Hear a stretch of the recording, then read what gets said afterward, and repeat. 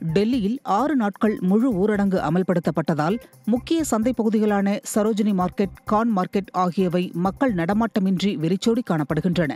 இப்பகுதிகளில் உள்ள அனைத்து கடைகளும் மூடப்பட்டுள்ளன. இதேபோன்று ராஜபாதை போன்ற முக்கிய பகுதிகளில் முழு ஊரடங்கையொட்டி சாலைகளில் தடுப்புகள் ஏற்படுத்தப்பட்டுள்ளன.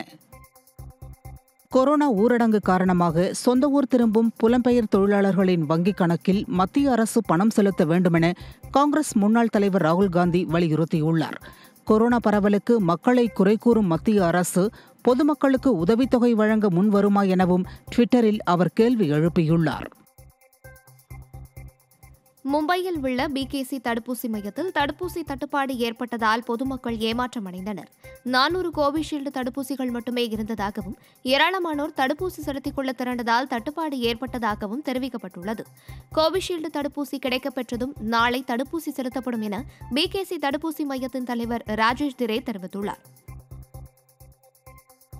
கொரோனா சிகிச்சைக்கு தேவையான ஏற்பாடுகளை மேற்கொள்ளுமாறு ராணுவ தளபதி முகுந்த் நரவணேவிற்கு பாதுகாப்புத்துறை அமைச்சர் ராஜ்நாத் சிங் உத்தரவிட்டுள்ளார். இதேபோன்று டிஆர்டிஓ இயக்குநருடனும் பேசிய அவர் கடந்த ஆண்டை போன்று பொதுமக்களுக்கான சிறப்பு கொரோனா வார்டுகளை ஏற்படுத்துமாறு அறிவுறுத்தினார். இதையடுத்து ராணுவம் மற்றும் டிஆர்டிஓ மையங்களில் கொரோனா சிறப்பு வார்டுகள் ஏற்படுத்தும் பணிகள் தொடங்கப்பட்டன.